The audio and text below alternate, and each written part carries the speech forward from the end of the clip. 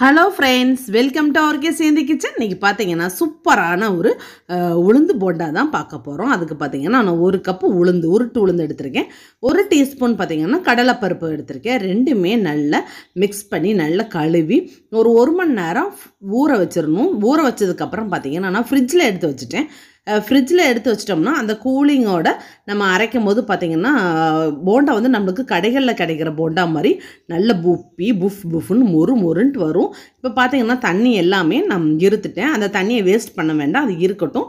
நம்ம மாவுக்கு ஊற்றி அரைக்கும் போது பார்த்திங்கன்னா அந்த தண்ணி யூஸ் பண்ணிக்கலாம். இப்போ ஒரு பெரிய மிக்ஸி ஜார் எடுத்திருக்கேன்.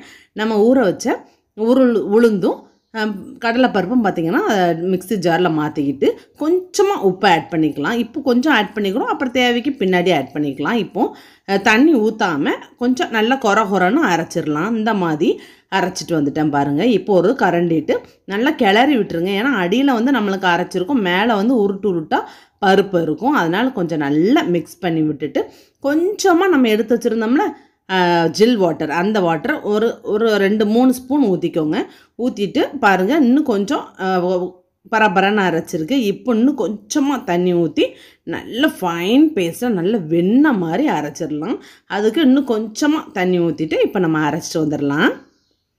இப்போ பார்த்தீங்கன்னா மாவு பாருங்கள் எவ்வளோ உப்பி நல்ல வெண்ணெய் மாதிரி நல்ல கொழு கொழுன்ட்டு பார்த்தாலே உங்களுக்கு தெரியும். இந்த மாதிரி நல்ல ஃபைன் பேஸ்ட்டாக அரைச்சிடலாம்.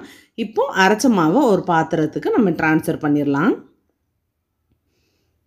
இந்த போண்டா பார்த்தீங்கன்னா நல்ல ஈவினிங் ஸ்நாக்ஸுக்கு நல்ல கார சட்னி வச்சு சாப்பிட்டா ரொம்ப டேஸ்ட்டாக சூப்பராக இருக்கும் ஃப்ரெண்ட்ஸ் இப்போ பார்த்தீங்கன்னா மாவு எல்லாமே ட்ரான்ஸ்ஃபர் பண்ணியாச்சு. இதுக்கு தேவையான பொருள் எல்லாமே போடுறதுக்கு முன்னாடி பார்த்தீங்கன்னா நல்லா நம்ம கை வச்சு நல்ல ஒரு பத்து பதினஞ்சு நிமிஷம் நல்லா பீட் பண்ணணும். நம்ம பீட்லாம் தேவையில்ல. நம்ம கையே நம்மளுக்கு போதும். சூப்பராக நல்லா அந்த விரல்களால் ஒரு அந்த அஞ்சு விரல்லையும் வச்சு நல்லா ப்ரெஸ் பண்ணி ஒன் சைடாக நல்லா இந்த மாதிரி ரப் பண்ணிக்கிட்டே இருந்தீங்கன்னா நல்ல மாவு பார்த்தீங்கன்னா உப்பி புஃபு புஃபுன்னு இந்த பாருங்களேன் வெண்ணெய் மாதிரி இருந்துக்கு சூப்பராக வந்திருக்கு பாருங்கள் இந்த மாதிரி நல்லா கைட்டு நல்லா அடிச்சிட்டு இப்போ தேவையான பொருள் பார்த்தீங்கன்னா ஒரே ஒரு டீஸ்பூன் வந்து நான் அரிசி மாவு சேர்த்துருக்கேன். நல்லா பொடிசாக கட் பண்ண கருகப்பில் ஆட் பண்ணியிருக்கலாம். அப்புறம் பார்த்தீங்கன்னா பொடிசாக கட் பண்ண கொத்தமல்லி தலைகள் ஆட் பண்ணிக்கலாம். ஒரே ஒரு துண்டு இஞ்சி நான் பொடிசாக கட் பண்ணி வச்சுருக்கேன். அதை ஆட் பண்ணிக்கலாம். அடுத்தது பார்த்தீங்கன்னா பச்சை மிளகா நான் எடுத்து வச்சுருக்கேன். ஒரே ஒரு பச்சை மிளகா கொஞ்சம் பெருசாகவே வெட்டி வச்சுருக்கேன். ஏன்னா பிள்ளைங்க எடுத்து எடுத்து வச்சுருவாங்க. அதனால் கொஞ்சமாக நான் பெருந்த பெருங்காயம் ஆட் பண்ணிக்கலாம். அதுக்கப்புறம் பார்த்தீங்கன்னா ஒரே ஒரு பிஞ்சு வந்து ஜீரகம் ஆட் பண்ணிக்கலாம். அதுக்கப்புறம் பார்த்தீங்கன்னா ஒரு அஞ்சு ஆறு மிளகு முழு மிளகு நான் ஆட் பண்ணியிருக்கேன். பொடிசாக தேங்காய் வந்து பார்த்திங்கன்னா பல்பெல்லாம் கட் பண்ணி வச்சுருக்கேன். அதையும் ஆட் பண்ணிக்கலாம். அப்போலாம் கொஞ்சமாக நம்ம உப்பு ஆட் பண்ணோம் இப்போ கொஞ்சம் அதிகமாகவே ஆட் பண்ணிக்கலாம். தேவைக்கு ஆட் பண்ணிவிட்டு இப்போ எல்லாமே நல்லா மிக்ஸ் பண்ணிடலாம். இந்த மாதிரி ஒன் சைடாக நல்லா மிக்ஸ் பண்ணி மாவு பார்த்திங்கன்னா பஞ்சு மாதிரி இப்படி எடுத்து போடுறதுக்கு கரெக்டாக இருக்குது இப்போ பார்த்தீங்கன்னா எண்ணெய் வந்து நல்லா சூடாக இருக்குது நம்ம கொஞ்சம் கொஞ்சமாக கிள்ளி கிள்ளி போட்டுக்கலாம். எப்படின்னா ஃபஸ்ட்டில் இந்த மாதிரி லைட்டாக தண்ணி தொட்டுக்கணும். தொட்டுட்டு இந்த மாதிரி கொஞ்சமாக மாவு எடுத்துக்கோங்க. இப்படி நல்லா ரோல் பண்ணாலே நல்லா வரும் உங்களுக்கு.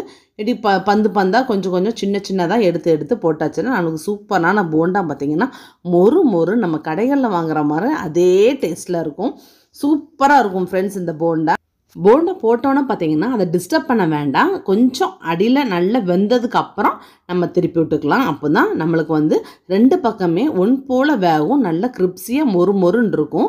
இந்த மாதிரி ஒரு சைடு பார்த்தாங்கன்னா உங்களுக்கு தெரியும். நல்லா கொஞ்சம் வெந்துட்டு பாருங்கள் இப்போ நம்ம அடுத்த சைடு திருப்பி போட்டுடலாம். திருப்பி திருப்பி விட்டு நல்ல மெதுவான தீயில் நல்லா கோல்டன் ப்ரௌன் ஆகணும். அது வரை நல்லா கொஞ்சம் பொறிச்சு எடுத்துகிட்டு நல்லா சூடாக ஒரு பிளேட்டில் வச்சு கார சட்னி வச்சு சாப்பிட்டு பாருங்களேன். செம்மையாக இருக்கும். ஃப்ரெண்ட்ஸ் இந்த வீடியோ பார்த்துருப்பீங்க. இந்த வீடியோ பிடிச்சிருந்துச்சுன்னா லைக் பண்ணுங்கள் ஷேர் பண்ணுங்கள் கமெண்ட் பண்ணுங்கள் மறக்காமல் ஆர்கே சேந்தி சேனலுக்கு சப்ஸ்கிரைப் பண்ணிடுங்க நம்ம வேறு ஒரு வீடியோவில் சந்திக்கலாம். பாய்